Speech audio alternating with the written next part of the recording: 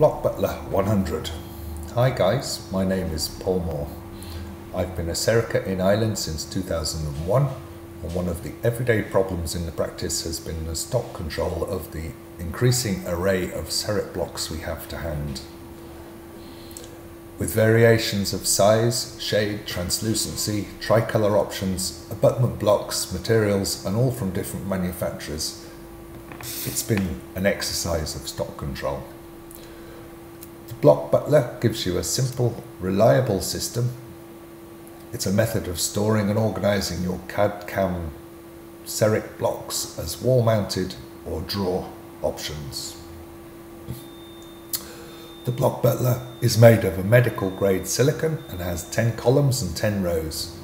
Each hole has a nipple inside that grips the groove on the CAD CAM block chuck so it's easy to insert and remove but retained on insertion.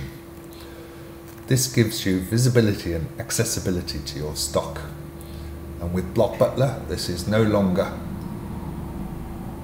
a problem and ensures that sufficient of the correct type of block is available to complete the task in hand.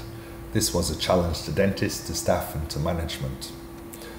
These medical grade silicon boards are made to last. We will guarantee them for a lifetime.